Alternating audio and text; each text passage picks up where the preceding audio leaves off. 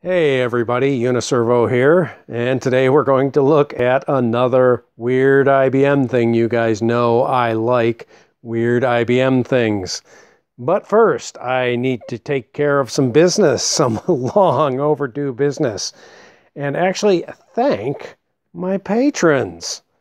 So, didn't know if people wanted their names fully fully uh, blurted out, so abbreviated names here. Alexander E. Chris, Eric G, Glass Monster, Holden H, Holger K, Jeff M, John P, John F, Mark B, and Nick G.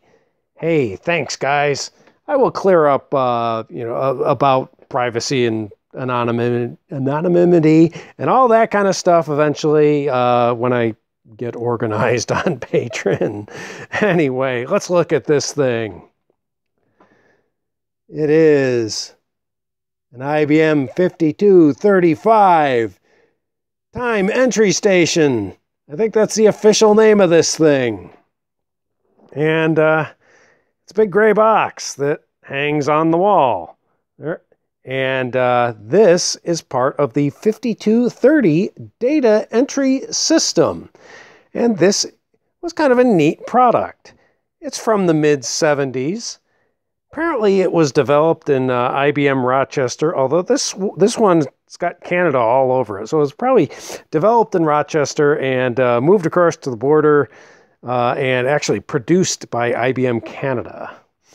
And uh, it was a whole system that uh, consists of a control unit and some other bits and pieces and uh, a number of these things the idea was you stuck these all around your business, like on, at the factory, where all the workers would shuffle in and shuffle out every shift or so.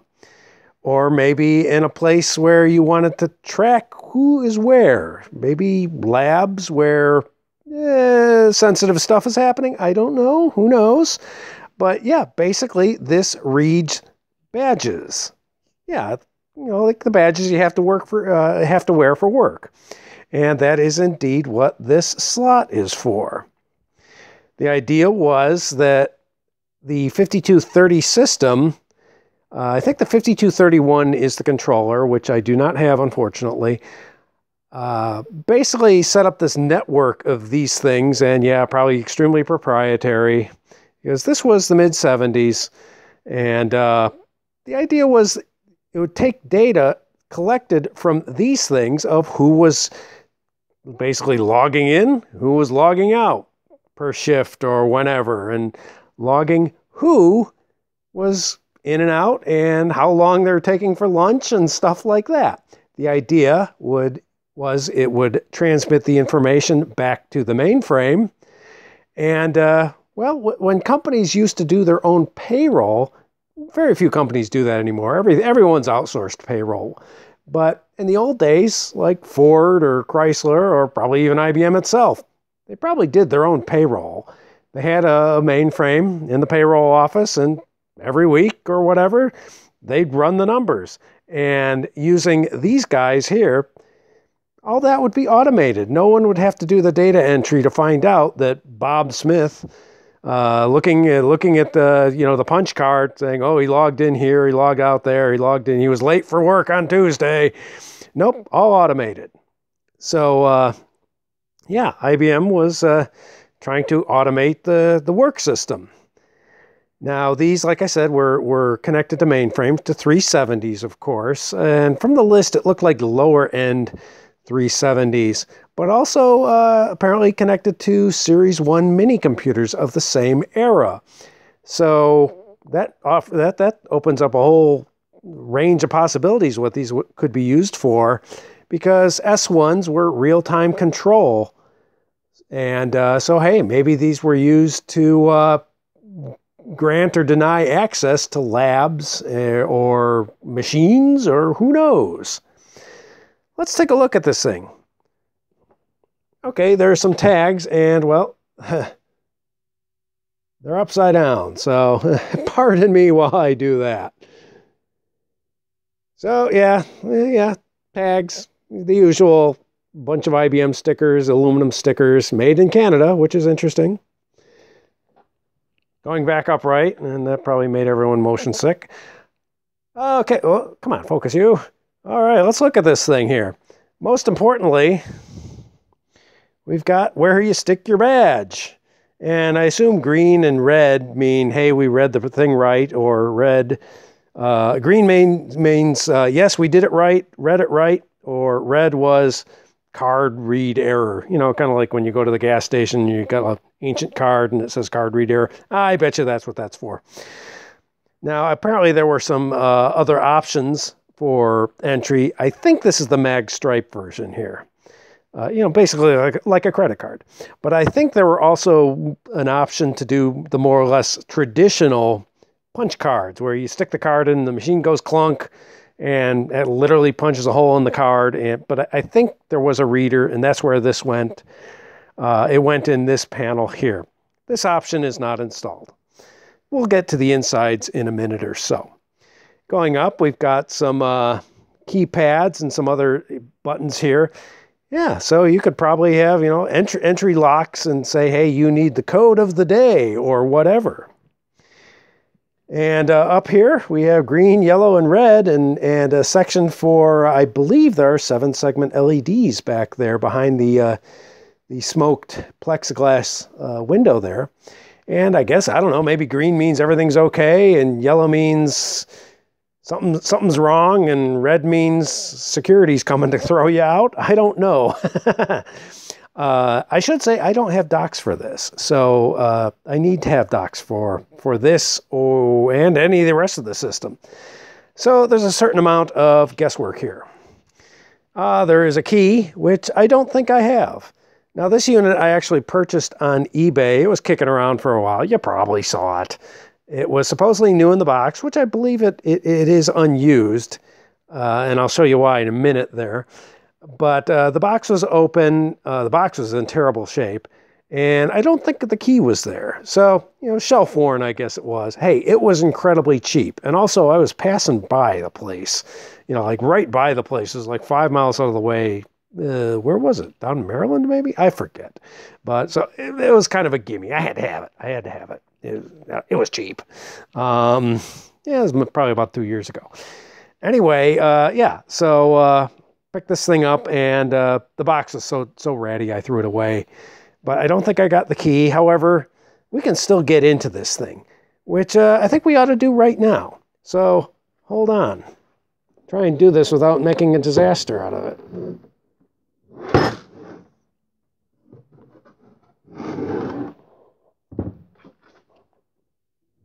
Put it down. All right. Oh, first off, I should show you the the interface to this, which of course is weird. So yeah, here's the power cord. It's a twist lock, and you can see it's got this little uh, doohickey seal thing on it, which is kind of neat, which leads me to believe that yes, this thing was never installed. And also it's in, in fantastically good condition. And then, and then of course, here's the weird interface. I don't know. I don't know what's going on there. Focus. So anyway, let's get the cables out of the way and look at the innards. All right, well, we can start out here. We got the power switch, and you can see it's your classic 70s power switch, or one of the versions of the classic 70s power switch. We've got a uh, the power supply there. Danger 550 volts. What the hell are they doing in there? Well, it looks like there's a ferro resonant transformer in there, and yeah, I, I don't know. I, I know a ferro resonant transformer can generate a fair amount of voltage, you know, especially if things get weird. Uh, but really, 550 volts? I have to when I eventually get the documentation for this, I'll have to see if this. I wonder if this thing could run off a 480. That'd be kind of weird. Eh, you know, factory floor, got 480 everywhere. Anyway, yeah, so we got a, a, a simple brute force power supply, and there's the, the filter there. Uh, I don't know why they had to make it ferro resonant, but they did. It's IBM. You know, what do you, what, what do you expect? Up, up forward here, this would be the top of the unit. Uh, we have a, a very small card cage. There are only two cards there, and unfortunately, these plastic things kind of get in the way. But as you can kind of see, there's not a heck of a lot going on in there. I think I think this is a fantastically dumb device. You know, these plastic things here seem to be just for holding the cables. Yeah, there's there's not much. There's a tiny little uh, card there, which looks like just a header for ribbon cable, maybe. But yeah, not much else going on in there. Got a little card here that, well, it doesn't look like it does much, actually. But I suppose the fun thing is, is this device here, which is the Mag Stripe Reader. So you can see it's got a guide and spring-loaded, so it shoot your card back out. And there is a. Uh, I don't know if we can get in there in there. Let's see. I don't know why is my phone not zooming. There we go. See in there, it looks like we've got um, probably the head right there. And we've got some shielded cable right in the center there. You can see the heads up to the card. So yeah, the, the cards probably up there have got basically the read amps. And, uh, you know, the other stuff to turn it into an actual bit stream. You know, it's not much of a bit stream. It's only a simple mag stripe like on a credit card. And I suppose there might be a little bit of the uh, the error checking going on in there. I don't know. You know, it could be the error checking was all being done by the control unit, the big box that sat in the computer room. The, I think that was called the 5231. And if it had an error, a read error, and may have shot it back here to turn that red light on. I don't know. Uh, but yeah, there's there's really not much of a way of a brain in this thing. And I, I'm kind of blown away by the size of that capacitor. I mean, this is not a this is not a big power hungry device. In fact, what does it say for the uh, one phase, two wires? Yeah, the typical IBM. They're saying it needs a 15 amp branch circuit. Well, I'm going to guess it doesn't actually take all 15 of those amps, but it probably takes a fair number because generally ferro resonant transformers suck a lot of power. So, uh, interesting device.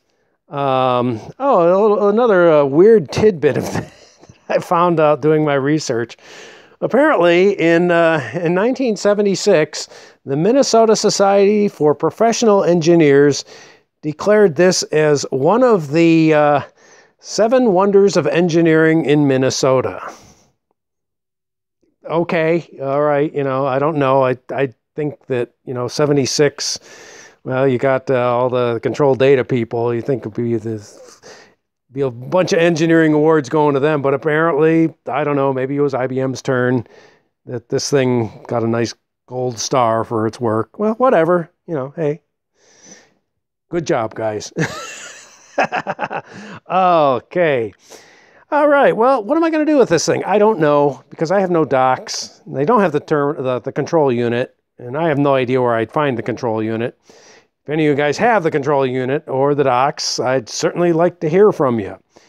You know, maybe I should uh, put this uh, by my front door as you walk in. So if you want to get the golden ticket, you literally have to have a golden ticket. I'll, I'll paint a bunch of uh, old credit cards with uh, gold paint, and and uh, you got you, you you put it in the machine, and well, it's uh, red, yellow, or green. That's it. That those are that, those are the outcomes. And hey, if it's red, start running.